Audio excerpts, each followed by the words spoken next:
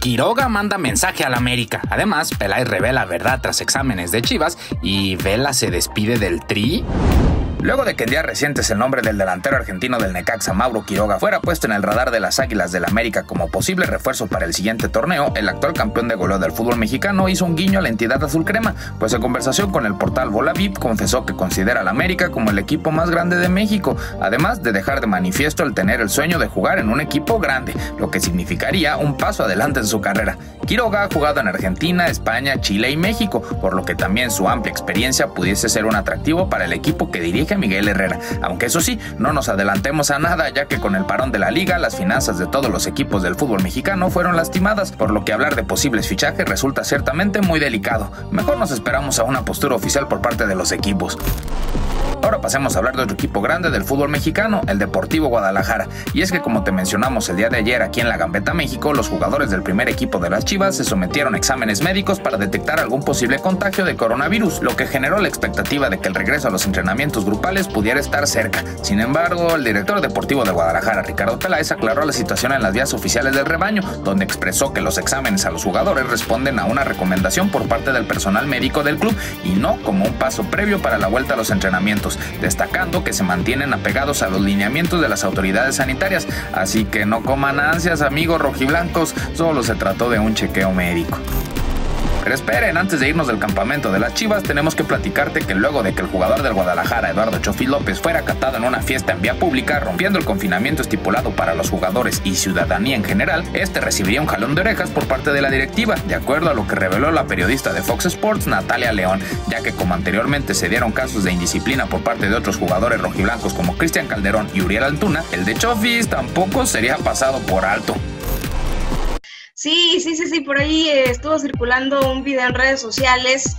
de Javier Eduardo López y su novia que estuvieron en, en, una fiesta y la verdad es que se ve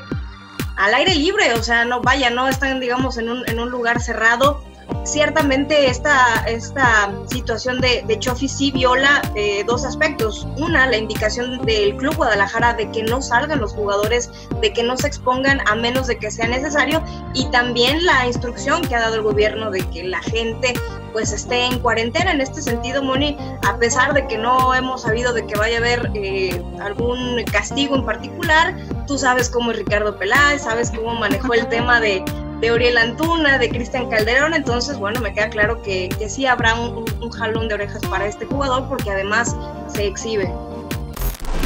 Ante esta información, también la Chofi se pronunció al respecto mediante un mensaje en su cuenta de Instagram, mismo que fue retomado por Diario Milenio. De verdad, de corazón, si no están enterados bien de las cosas, no digan nada, porque lo único que provocan son puros chismes. Ya vengan, veteros, les conviene más quedarse en casa, ¿para qué se meten en problemas? Por su parte, otro equipo de la Liga MX que también replicarían lo hecho por las Chivas y aplicaría exámenes médicos a sus jugadores son el Cruz Azul y los rojinegros del Atlas. Esto también para descartar algunos casos de contagios de COVID-19 entre sus elementos. Más vale prevenir, amigos. Ahora hablemos de algunos futbolistas mexicanos en el extranjero, en específico de Carlos Vela y Raúl Jiménez. Empecemos con el jugador del LAFC, quien en plática exclusiva con tu DN y tras donar la camiseta que usó en el último mundial ante Brasil en Rusia 2018, soltó un mensaje que podría poner fría a la selección nacional mexicana, ya que dijo que igual y no volvió a usar una más, en referencia a la indumentaria del Tri.